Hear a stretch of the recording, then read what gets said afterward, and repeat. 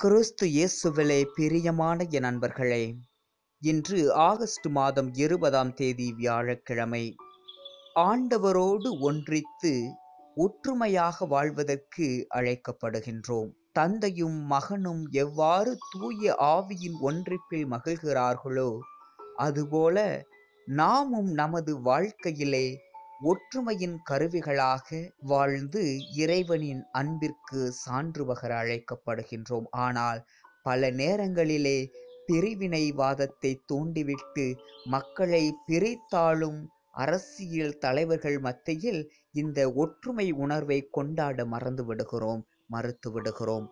எப்படி நாம் நமது வாழ்வில் இந்த ஒருமைப்பாட்டை ஒற்றுமை உணர்வை வளர்க்கலாம்? பிறரும் வளர்க்க உதவலாம். சிந்திப்போம். அதற்காக ஜெபிப்போம்.